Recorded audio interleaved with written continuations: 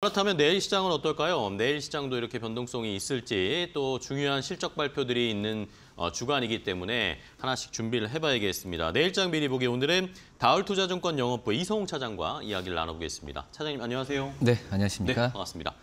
자, 오늘도 결국에는 하루 어제 반짝 상승했다가 오늘도 하락을 해버렸고 내일도 뭐 쉽지는 않을 것 같습니다. 어떻게 또 시장 준비하고 계신지 내일 어떻게 대비하면 좋을까요? 어, 우선 기본적으로 지금 이제 연속성은 지금 많이 없는 상황이잖아요. 뭐 그렇기 때문에 어, 좀 이 매매 trading 관점이 굉장히 힘든데 어, 우선 그 뭐 우리나라 기업들에 대한 실적에 대한 전망치가 좋아지거나 fundamental이 좋아지면은 어, 주가가 아무리 어, 널뛰기 장세로 떨어진다 하더라도 이 저평가 매력이라는 부분 때문에 어, 우선 중장기적으로도 좀 그 긍정적으로 보유 관점 유지할 수 있겠지만 지금 우리나라 시장의 작년 4분기 실적에 대한 추정 그 나온 이 삼성전자의 실적 발표 이후로 이 기업들에 대한 실적이 하나둘씩 발표되는데 생각보다 좋게 발표되는 기업들 많이 없거든요. 그리고 추정 올해 이 상반기 추정치도 낮게 나오는 상황이기 때문에 이 펀드멘탈 관점에서 보면은 음, 어떤 길게 어떤 실적주를 어, 저가 매수하거나 이런 부분에 있어서 어, 좀 힘든 구간은 맞다라고 좀 생각이 되고 있고 그리고 이제 음, 최근에 좀 며칠 동안은 이제 중국의 영향을 좀 많이 받는 것 같아요. 어떻게 보면 자, 올해 초부터 이 중화권 증시나 그리고 일본 증시는 계속 상승세를 많이 보여주고 있는데 우리나라 같은 경우에는 지금 맥을 못 추고 있는 상황이거든요. 그만큼 그 전에는 이제 미국 이 영향을 수출이나 이런 부분을 좀 많이 영향을 좀 받는 상황이지만 지금 같은 경우에는 뭐 미국의 big tech 기업들 갈 때 큰 랠리는 못 보여주고 오히려 좀 중국 경기에 대한 우려감이 더욱더 이제 우리나라 증시가 눌리고 있기 때문에 정말 대외적인 여건상 우리나라 증시가 좀 많이 힘든 건 맞다라고 좀 생각이 되고 있고 뭐 그러기 때문에 더욱더 이제 개별 종목 장세로 가지 않을까.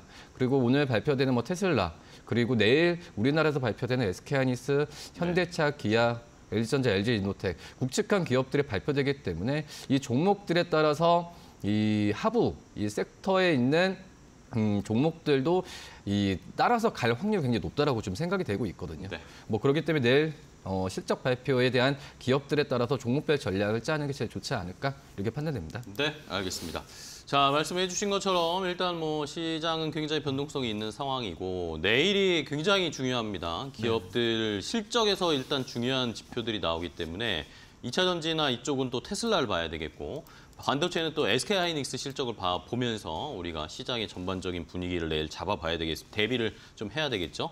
자, 그렇다면 이제 내일 시장에서는 어떤 업종으로 시장을 좀 대응해 볼까요? 어, 우선 말씀하셨던 뭐 2차 전지 또 이제 뭐 반도체 섹터들은 후대응하는 게 제일 낫다라고 좀 생각이 되고 있고요. 지금 현재 그 종목들 중에서도 실적 발표가 에 어, 실적 전망에 대한 부분이 안 좋게 나와주면서 이 많이 떨어졌던 섹터가 바로 이제 게임주이지 않을까라고 좀 생각이 되고 있는데 뭐 게임주 작년에 정말 안 좋았습니다. 그래서 그 작년 4분기 NC소프트의 실적 발표를 본다고 하더라도 이 실적에 대해서 흑자 랠리가 나오는 기업들이 좀 많이 없는 상태인데 근데 이제 이 우리 기저 효과라고 할 수 있겠죠. 이 작년 대비해서 올해 실적에 대한 흑자 전환에 대한 어, 그런 기업들에 대한 지금 평가가 좀 많이 어, 종목들이 하나둘씩 나와주고 있거든요. 네. 우상향으로 이 흑자가 계속 이루어지는 종목들도 괜찮지만 저는 지금 현재 뭐 시점에서는 이 실적주로 갔을 때는 이 실적이 earning surprise급으로 나오거나 아니면 흑자 전환하는 그런 기업들을 좀 봐야 된다고 좀 생각이 되고 있는데 그 섹터 중에 하나가 바로 이제 게임주이지 않을까. 왜냐하면 게임 안에서도 어, 종목들 간의 희비가 많이 엇갈리고 있기 때문에 이 게임주에서 잘 고르면은 어, 종목들 잘 찾, 찾을 수 있을 가능성이 있다고 판단되고 있고요.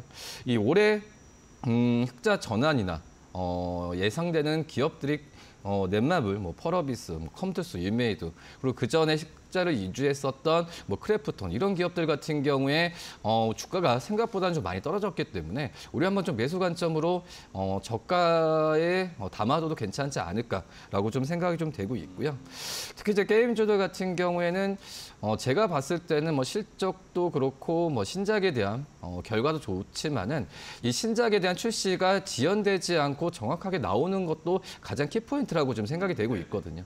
뭐 그렇기 때문에 이 그전에는 뭐뭐 코로나도 있었고 뭐 중국 쪽에서의 어, 저 지정학적 리스크 때문에 어떤 이벤트 때문에 많이 흔들렸다고 한다면은 올해 같은 경우에는 뭐 게임주들이 신작에 대한 부분을 작년부터 이제 계획에 대한 부분을 차곡차곡 올해 상반기 때는 큰 무리 없이 갈 확률이 높다라고 좀 생각이 되고 있기 때문에 이런 게임주들에 대한 이 선, 그 선별적인 전략도 필요하지 않나라고 좀 판단됩니다. 네, 알겠습니다. 자, 게임주를 살펴보자, 공략을 해보자. 실적, 어쨌든 실적 시즌 이니까 실적에서 결국에는 실적도 눈에 띄는 뭔가 실적이 나오는 그런 업종이나 기업들을 찾아야 되겠죠. earning surprise가 나오거나 흑자 전환하는 기대를 해볼 수 있는 게임주들을 저희가 한번 잘 공략해 보도록 하겠고요.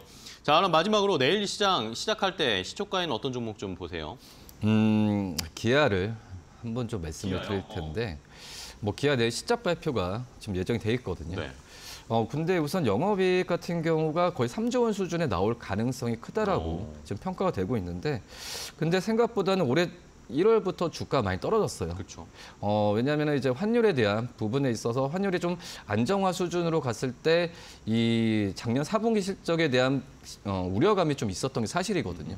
뭐 하지만은 지금 현재는 이 환율보다도 오히려 지금 이 하이브리드 차나 그리고 전기차에 대한 판매량 부분 같은 경우가 늘어나면서 이런 부분이 시장에서 더 각광을 어, 중장기로 봤을 때는 어, 영향을 더 좋은 영향 끼칠 가능성이 크다라고 지금 생각이 좀 되고 있고 그리고 이제 뭐 미국 판매량 같은 경우에도 작년 하반기 때도 그래도 플러스 어, 상황으로 이제 분기마다 계속 가고 있는 상황, 그 가고 있는 모습을 보여주고 있기 때문에 저는 해외 쪽에서 매출액은 꾸준하게 나올 가능성이 크다라고 좀 생각이 되고 있습니다. 그리고 이제 미국 시장 쪽에서 인센티브 같은 경우에도 지금은 어, 그 어떻게 보면 QOQ로 봤을 때도 9% 이상으로 지금 가고 있기 때문에 수익성은 어, 지금 제가 봤을 때 양호한 수준으로 갈 확률이 계속해서 좀 나올 이- 가능성이 좀 있지 않을까라고 판단되고 있어서 오히려 지금 증권사 같은 경우는 작년 사, 작년 4분기보다도 올해 실적에 대한 기대감은 이런 제품 믹스 효과가 발휘할 것으로 지금 예상이 되고 있거든요. 뭐 그러기 때문에 저는 기아를 내일 발표되는 실적주로서는 어, 좀 그 첫 번째로 어, 좀 관심을 가져야 되는 게 맞지 않을까라고 좀 생각됩니다. 네. 자, 그럼 가격 전략도 바로 체크해 볼까요? 어, 우선 뭐 증권사들 같은 경우에는 그 1월 달부터 주가 떨어졌다고 하더라도 지금 목표 주가를 11만 원 이상까지는 계속 꾸준히 유지를 하고 있거든요. 그래서 1차적으로 저는 어, 내일 실적 발표 이후에 주가에 대한 매수 관점이 어, 나올 가능성, 저가 매수에 대한 부분 나올 가능성이 크기 때문에 1차적으로 이제 9만 5천 원 정도로 말씀을 드리지만 돌파했을 때는 추가 매수 관점 좀 말씀을 드리고요. 그리고 손절가는 어, 8만 원 말씀드리도록 하겠습니다. 네, 알겠습니다. 자, 기아 내일 실적 발표하는 큰 기업들 중에 하나죠. 현대차도 발표하지만 기아의 실적 잘 체크해 보면서 어, 실적 발표 후에 한번 공략을 해보자라는 그런 의견까지 주셨으니까요. 시청자분들도 자동차주 관심 있으신 분들은 잘 체크해 보시기 바랍니다. 자, 오늘 이성우 차장과 함께 내일장 준비 좀 해봤습니다. 오늘도 좋은 전략과 종목까지 알려주셔서 감사하고요. 다음 시간에 또 뵙겠습니다. 차장님 고생하셨어요. 네, 감사합니다.